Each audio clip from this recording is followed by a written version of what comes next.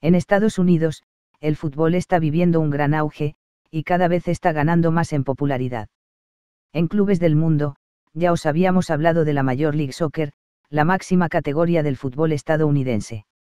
Hoy, os hablaremos de la United Soccer League, conocida como USL, y que es la segunda división de Estados Unidos. Precisamente, en la USL, juega el Indy Eleven, que tiene su sede en Indianápolis, en el estado de Indiana, cerca de los grandes lagos de Estados Unidos. El club fue fundado en el año 2013 por el empresario Ersal Ozdemir. El club juega en la USL Professional Division, desde el 2018, después de estar en la North American Soccer League desde el 2014.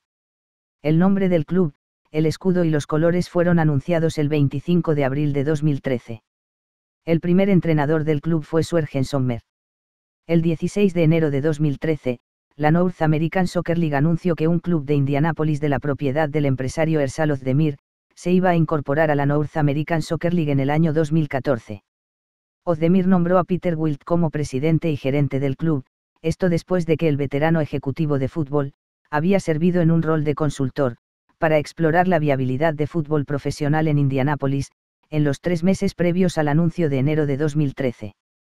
El nombre de Eleven, hace referencia a los 11 jugadores que jugaran representando a Indiana, y también rinde homenaje al décimo primer regimiento de infantería de Indiana, en la Guerra Civil Americana, mientras que el color azul marino a cuadros de fondo es un guiño a la cultura de las carreras de coches de Indianápolis.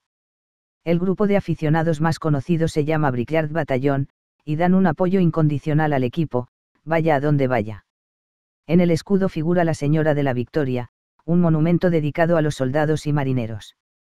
El esquema de color del club, es el mismo que el de la bandera cívica de Indianápolis. El club disputa actualmente sus partidos en el Lucas Oil Stadium, con capacidad para más de 62.000 personas.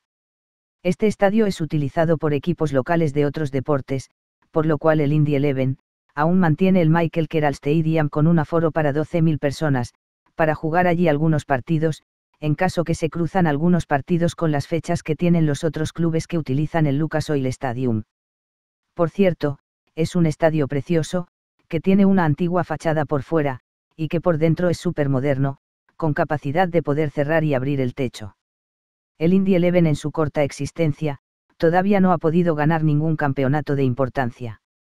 En el US Open Cup de 2014, el Indy Eleven pudo llegar hasta la cuarta ronda, siendo allí derrotados en la prórroga por el Columbus Crew.